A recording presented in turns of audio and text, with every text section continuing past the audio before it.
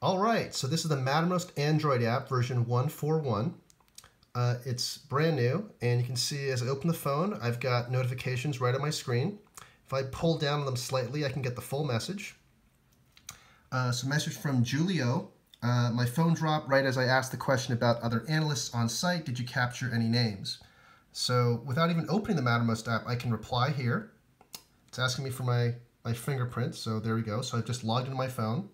Um, I'm going to hit a reply here. I'm actually going to use the, uh, the voice function.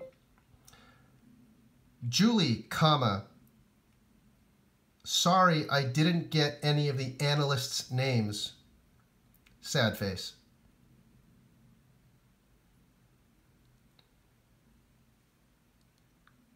Okay, so uh, replied with voice, and it got typed in. I'm gonna hit the send button, and that's gonna answer the question from Julie straight away. So uh, if I want to go into Mattermost, and I can see I've got seven unreads. Um, you can see here pretty, pretty quick, pretty responsive. Everything loads, including images. I can swipe up and down.